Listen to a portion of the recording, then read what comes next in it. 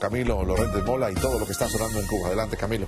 Aquí estamos. Y lo que está sonando en Cuba, señores, la implementación de una nueva plataforma en Internet para el visado electrónico en Cuba. Esto para los extranjeros que visitan Cuba, sobre todo como turistas.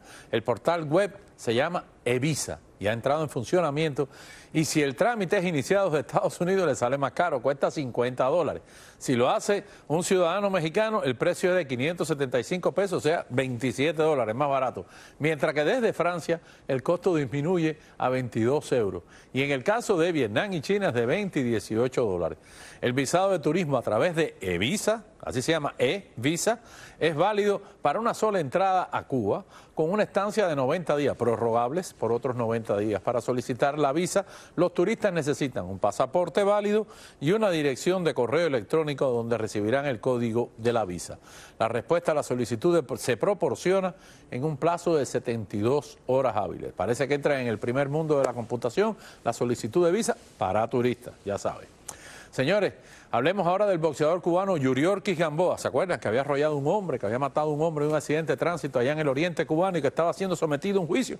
Bueno, ha sido exonerado de toda responsabilidad, absuelto de toda responsabilidad con este incidente de tráfico que resultó en la muerte de un peatón el 31 de diciembre del 2022.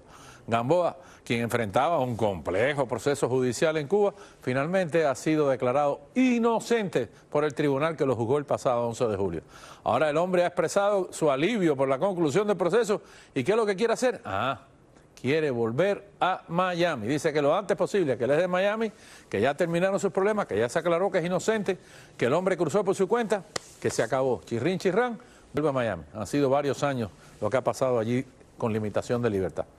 Y antes de terminar, quiero hablar sobre la concentración que vamos a tener el sábado aquí en el Bayfront Park de 4 de la tarde a 9 de la noche a favor de Venezuela.